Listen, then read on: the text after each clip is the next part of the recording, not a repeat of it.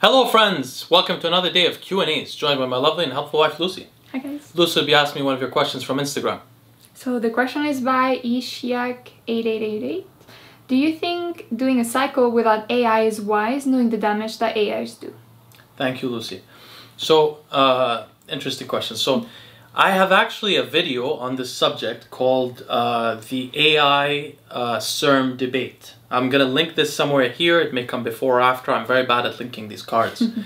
but you should watch that video. Uh, but I understand that there are people that are new to the channel and that haven't uh, heard that video. So I'll summarize some of the outcomes of that video as well as I'll discuss some more things that I didn't discuss in that video. So the first thing is, it is not clear that AIs cause harm. So he mentioned the harms that AIs cause. I used to think that this was the case before. Having looked into the, the papers myself um, in detail, although that was after I stopped using AIs myself, but I looked into the papers in detail and what I discovered is this. Essentially, so SERMs, which are selective estrogen receptor modulators like Nolvadex, Mm-hmm. which are alternatives to AI. AIs is an aromatase inhibitor. It inhibits the conversion of testosterone into estrogen by the enzyme aromatase. I remember. either yeah there's a couple of ways it can do that. Um, and then and Nolvadex which is the most uh, common uh, SERM uh, the, in the literature actually probably the most common. Yeah Nolvadex is the most common. It's used often for breast cancer patients. It selectively uh, usually inhibits the uh, activity of estrogen but sometimes it does the opposite so it modulates um, Nolvadex as well as actually raloxifene and other SERMs have a profound impact on lipids. They decrease LDL cholesterol and LDL particle count profoundly by like 40% or something like that. Very high amounts. You can look at that other video to know to remember. I don't remember the exact number. But basically, they have a very profound impact on uh, LDL cholesterol and lipid health. So, in studies, the reason why AIs were thought to cause damage is that in studies on breast cancer patients, when women took AIs, they had worse cardiovascular outcomes than when they took SERMs. People thought that was because of the reduction in estrogen, but it may be because SERMs were so healthful. In fact, raloxifene has been researched. Uh, raloxifene has been researched as a drug for people with lipid problems, with cholesterol problems. The the only issue is it hasn't shown outcome measures, except in these uh, breast cancer, female breast cancer patients. But in other studies, it has not shown benefits on outcomes the way statins have. It definitely reduces LDL cholesterol significantly, but may not cause uh, reduction in cardiovascular events. So, not nonetheless, that seems to be the state of the art opinion on AIs and SERMs. SERMs seem to be protective, and AIs we don't know that they are clearly harmful. But with that said, let me talk about estrogen briefly because I personally would never use an aromatase inhibitor at, at all. Uh, it- I wouldn't use it unless someone is going uh, getting uh, gynecomastia, which is a, a development of breast tissue in a man. In which case, that person should make a honestly, should that person he's it's a he. He should make a decision and decide whether they want to use anabolic androgenic steroids. And if they do, they should save money and get the surgery to remove the the gland because it is not worth worrying about that gland if you're trying to use steroids. What is the other reason to use uh, uh, an AI? The way, for example, probably Greg Doucette uses it is to have a cut face and low low uh, uh, water in your body, which women also use it for a similar reason to get a chiseled face and stuff like that. That I believe is uh, very unhealthy. If I believe that if you had a higher water content, I'm not a doctor and this is not prescriptive advice, but if I was in that position, I would rather use a diuretic than an AI. Okay. An AI, for example, when men have lower estrogen levels, even their hair starts falling out. Estrogen is extremely protective in many parts of the body. So in the brain, estrogen has neuroprotective effects and it improves memory and learning.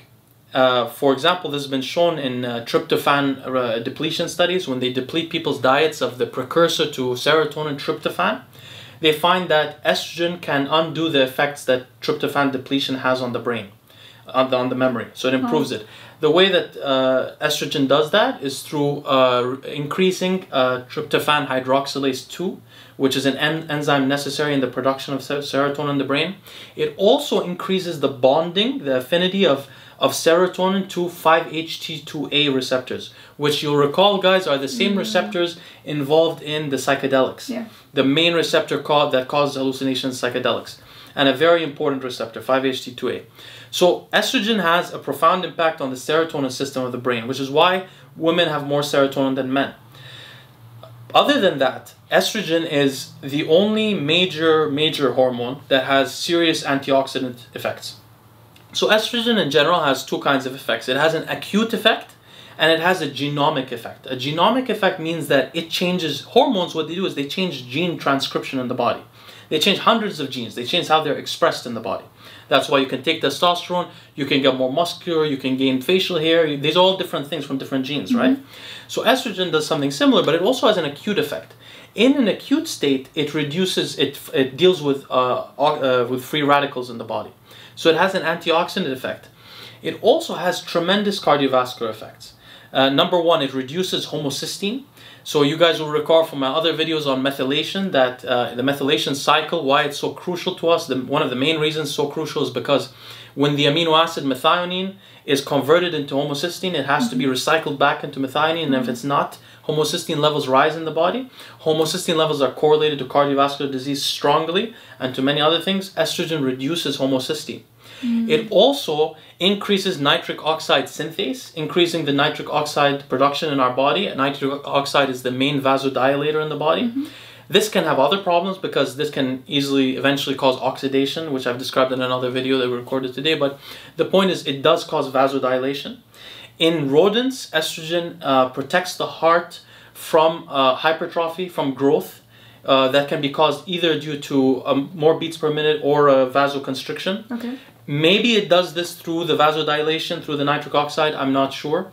Um, so it has tremendous impacts on the. Oh, also, not only is it antioxidant, but it specifically is powerful at reducing the oxidation of cholesterol and of LDL particles. And that oxidation, as everyone will remember, is what is thought to cause the plaque buildup. Mm-hmm.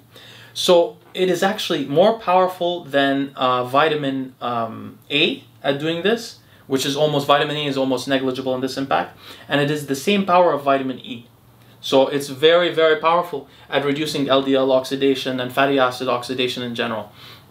So um, those are some of the impacts of estrogen. Now, why has I've mentioned this in an earlier video. Followers of the channel for a long time will know about this, but I mentioned a long time ago that it was actually tried once. Uh, it was called the uh, I forgot what the trial was called, but they tried to use estrogen as a drug to prevent uh, secondary heart uh, cardiovascular events in people that already had one, in men that already had one.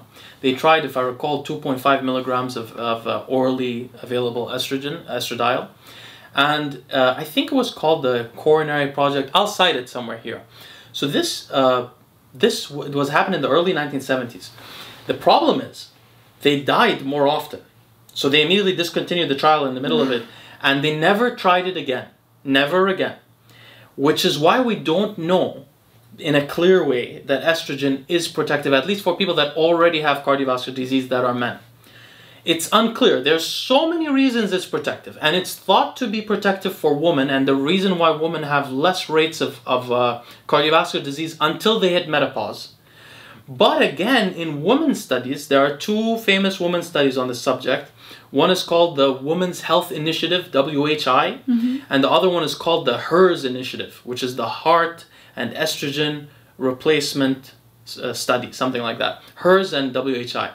Both of them gave women uh, oral, oral uh, estradiol, synthetic estradiol, combined with a synthetic progestin. Progestin means not progesterone, but something synthetic that also agonizes the progesterone receptor. And what they found is that uh, in both cases, women had worse cardiovascular outcomes. Really? But now it's been since then academia has been hypothesizing on why this happened. And what they've discovered is well not discovered, but what they've hypothesized is that number one, both these women in both of these studies had a longer period since their menopause before they added in the estrogen replacement. Mm, so a period without it. A, long period without it. So they tried another study called KEEPS, which is still ongoing. C, uh, K E E P S. You can check it out. in which they added in the, arrest- the estrogen, I think without progesterone, without progestin, uh, right after their menopause, and they didn't see this deleterious effect. So that may be the reason. Another reason may be that these women are getting older and they're getting um, more likelihood of the nitric oxide synthase, which, which increases because of the estrogen, uncoupling from nitri- nitric oxide production and producing free radicals like superoxide, which I mentioned before. So it could be that also. Um, it, and the other theory is that it could be the progestins that are combined in there. So it's not completely clear. But with all that said, estrogen is a very powerful hormone that is very useful for the brain. It is seems very useful for cardiovascular health. It seems to, in and rodent studies at least, prevent the hypertrophy of the heart that bodybuilders get when they use steroids anyway. And it seems to be generally a very protective hormone. Progesterone is also protective in some ways, but not across all studies, whereas estrogen is protective almost across all, at least animal studies. So um, basically, my point of view, I would never use an AI. Uh, personally, I would never ever use it. I would not be so cosmetically uh, um, driven. Of course, bodybuilders are different. I was an arm wrestler and uh, you know weightlifter, and I never really was cosmetically um, you know whatever. But I guess maybe they think differently, and if they do, I, I feel like using a diuretic would be a better approach, which is something that causes you to release water from your body, which is estrogen causes you to hold water. So that's the main issue there.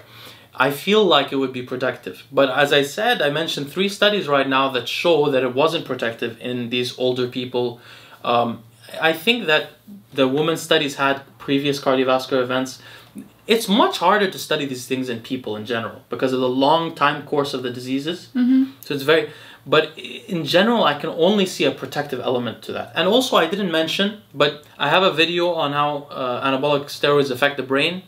And in, in vitro, in petri dishes, it has been shown that testosterone becomes neurotoxic when an aromatase inhibitor is combined with it.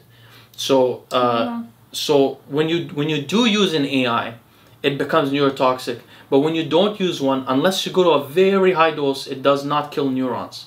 But it does kill neurons if you do use an AI. Interesting. And and as we know, testosterone and other anabolic steroids also reduce serotonin's activity in the brain, and estrogen increases serotonin's activity in the brain. So it seems to be something that combats the exact effects: the heart hypertrophy, the neurotoxic effects, the anti-serotonergic effects. It directly combats those effects. So I would never use an AI. If anything, I would use a diuretic. The only reason I don't say to use um, Nolvadex uh, in particular is there is one uh, deleterious effect of Nolvadex. One thing is that it's been in some people it causes uh, degeneration of the eyes. Oh, All of the SERMs do that. Yeah. Oh. So that is a serious concern if you're using it in the very long term. Of course, again, it, it helps your lipids a lot. It reduces. I mean, it, it's almost like a. It do, not on the outcomes, but at least the trade-off? well, it's very rare the eye, eye condition. Okay. Very rare. It doesn't happen that often. You can check that out by looking at studies of uh, females with breast cancer who use Nolvadex for a very long time. But it also causes, I think Nolvadex causes the uh, reduction in, I'm not sure, but I think it causes a reduction in serotonin. There's some other effect that I don't like that much. But I would always choose a SERM over an AI. I would never. But as I said before, it's it, we don't know for sure that AI is damaging. But but as we know, estrogen reduces also the the plaque development because it re- reduces the oxidation Yeah. of LDL. So it's so many things going on here. Personally, I would never use an AI, and I don't think anybody should. Great. All right, guys. Thank you so much for listening. We'll see you next time.